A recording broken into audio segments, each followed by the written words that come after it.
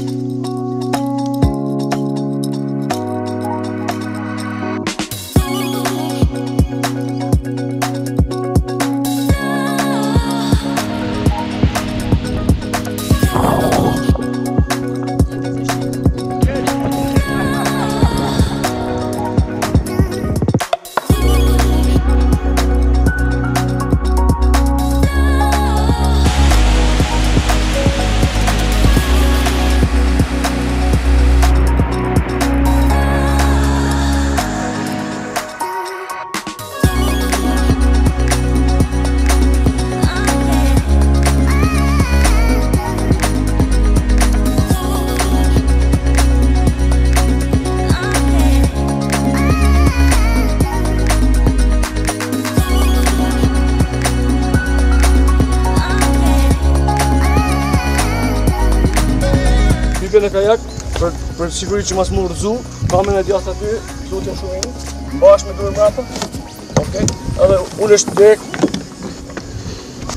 përmi kokë, nalt gjatë te krahu këtu, edhe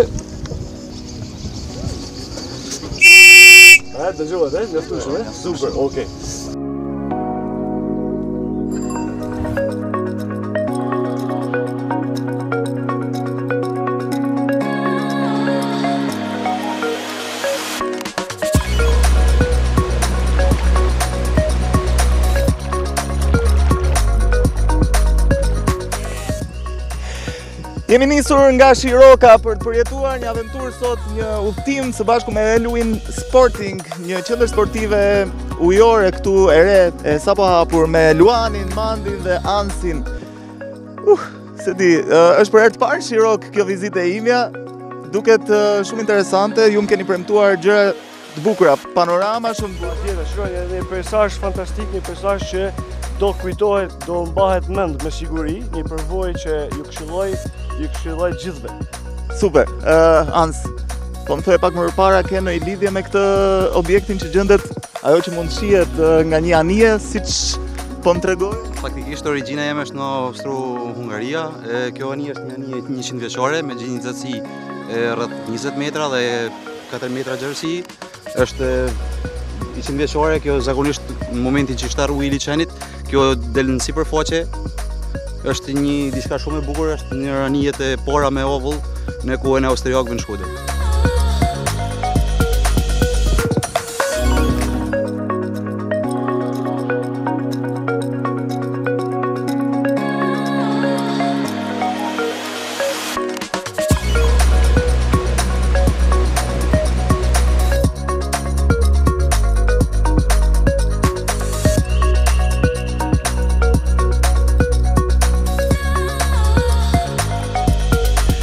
Kemi lundru 10 minuta me kajak Kemi arritur tu në këtë zonë fantastike shumë të bukur Kisha thënë parajsa e liqenit të Shkodrës Janë të rrethun nga zambakët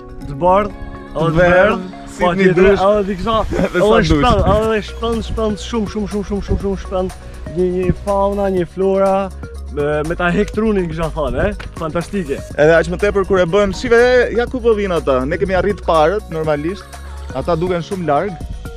Edhe kur e bën me këto mjete që vënë në lëvizje gjithë trupin, gjithë fizikun, po.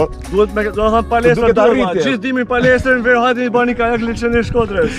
e duket arritje se nuk ke përdorur asnjë motor, ke vetëm me trupin tënd edhe një mjet që të ndihmon, ëh. Po, tjetër, gjë, është gjithçka eko, janë në mbështetje të ekoturizmit, fizikun, po, e krahëve, muskujve të ndryshëm, krahëve, shpatullave,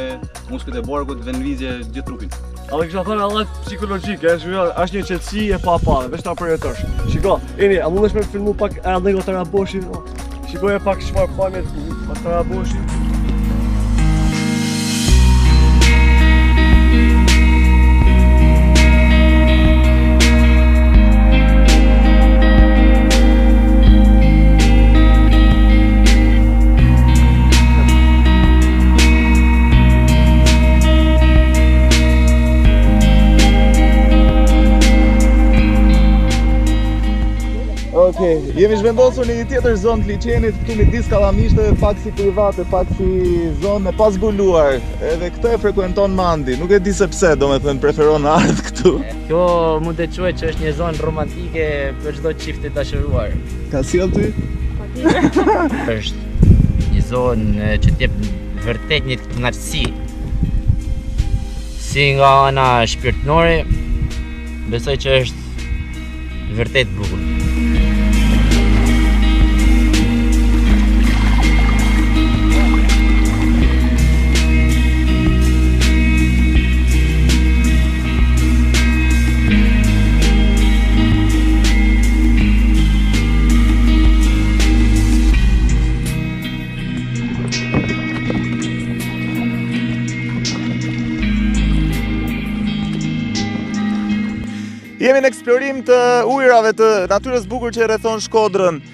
Kemi lërë mbrapa liqenin, tash na ka marrë rjedha.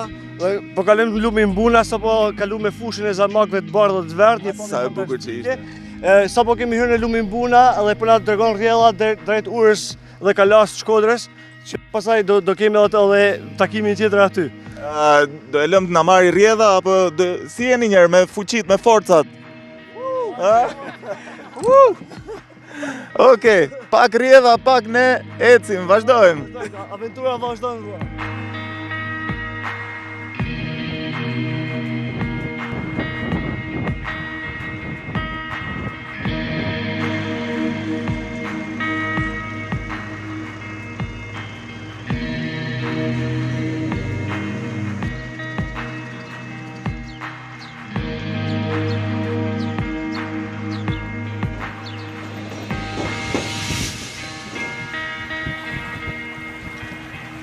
Si do e prezantoje një turisti kalanë që e shofim këtu? Si shkodran i vjetër që... Si shkodrani vjetër. Asht ajo historia e famshme e atyre tre vllezërve që, që ndërtun kalanë dhe që e, mendohet që u duhet që të bëhej një fli dhe është bërë një fli njerëzor Pra historia shkon, është e tillë që tre vëllezër në në kohë që punoshin ditën, shembej natën, dhe një plak i urtë i tha që duhet të të vendosni në themele një nga gratë tuaja, por s'duhet t'ia thoni grave dhe ajo që do vijë që të sjellë ushqimin do të jetë ajo që do të muroset dhe ë historia shkon që dy vëllezër i thanë grave të tyre, ndërsa më i vogli nuk i tha, Dhe në kohë që nusja i erdhi për të sjellë ushqimin, ata u detyruan që ta varrosin tek themelet e e kalasë dhe historia thotë që ajo thotë që e pra gruaja thotë që ok, por me lini me lini jashtë një gji që të ushqej fëmijën një këmbë që të përkun djepin edhe edhe një një dorë që, që ta që ta ledhatoj fëmijën dhe